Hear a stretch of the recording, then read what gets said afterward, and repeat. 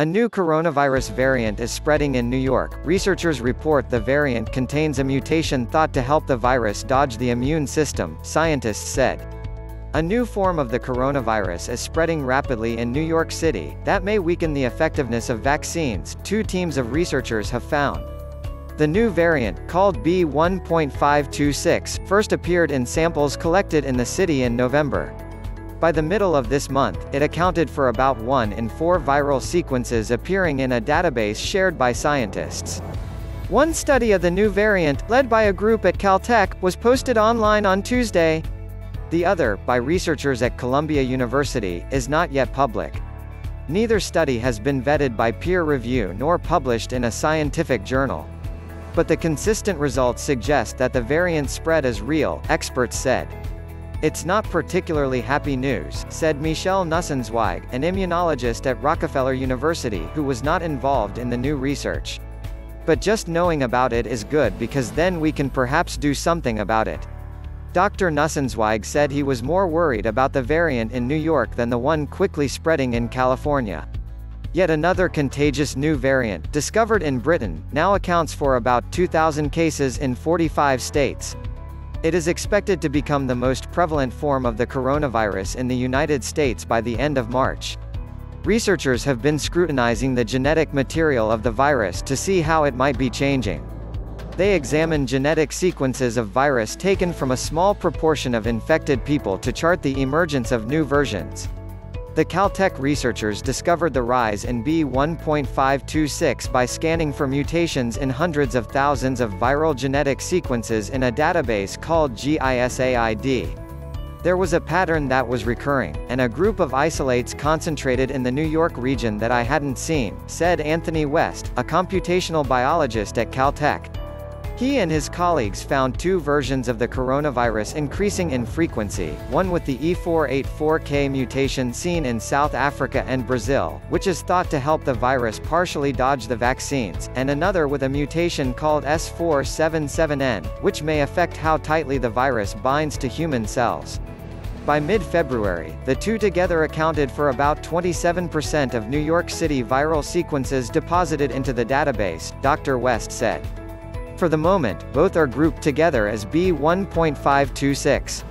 The Columbia University researchers took a different approach.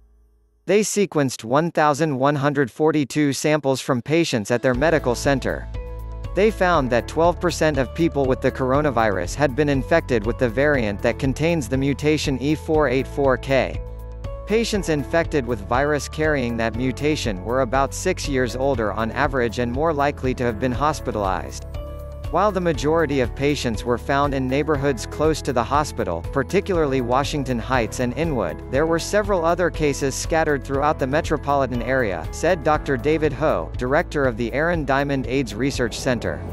We see cases in Westchester, in the Bronx and Queens, the lower part of Manhattan and in Brooklyn, Dr. Ho said. So it seems to be widespread. It's not a single outbreak. The team also identified six cases of the variant that pummeled Britain, two infections with a variant identified in Brazil, and one case of the variant that took over in South Africa.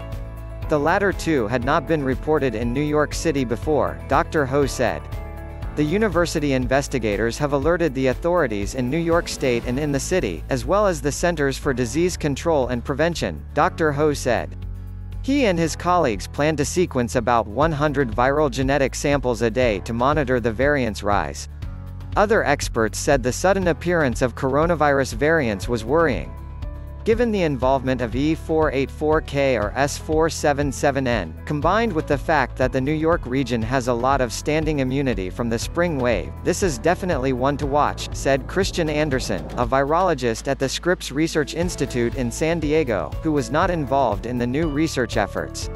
The E484K mutation has independently cropped up in many different parts of the world, an indication that it offers the virus a significant advantage. Variants that have an advantage are going to rise pretty fast in frequency, especially when numbers are coming down overall, said Andrew Read, an evolutionary microbiologist at Penn State University.